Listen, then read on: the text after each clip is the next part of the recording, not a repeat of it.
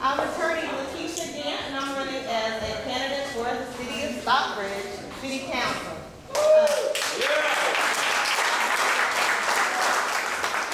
You've heard from Ms. Holliday, you've heard from Mr. Ford, and you're lastly hearing from me, and there's a, I- not too much I can follow up with Mr. Ford, knocking them all out of here. But what I want you to know, and some of the things that concern me is, and, and what I, we're here tonight, basically to announce our slate, but we're also here to support Vanessa as mayor.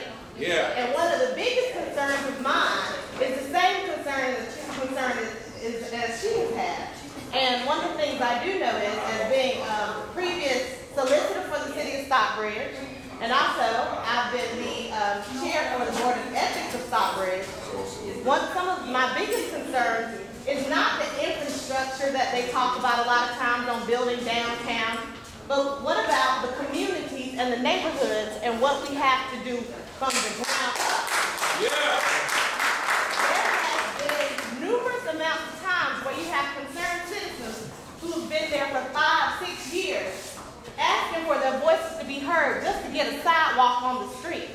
There have been numerous amounts, amounts of citizens who come into those meetings and beg and plead that we have an upward, not an upward bound, but a um, Head Start program for the younger kids in the community to teach them how to read and write at an early age.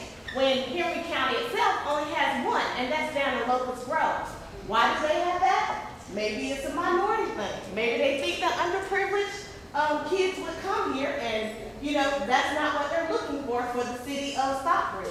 But I'm here to tell you that we're here to build and uplift our children, uplift small businesses, and uplift our neighborhoods and communities and make sure that they're safe. So one of the things I looked at, I saw an article recently in CNN Money Magazine.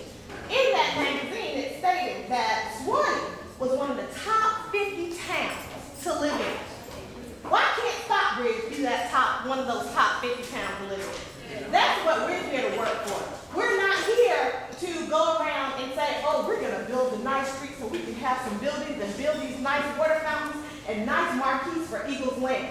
What is that gonna do for you?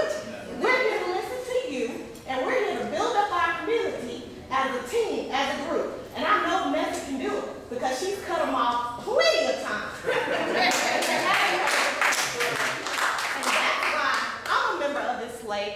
that's why my experience speaks for itself, and I want you to come out and vote for us on November 5th.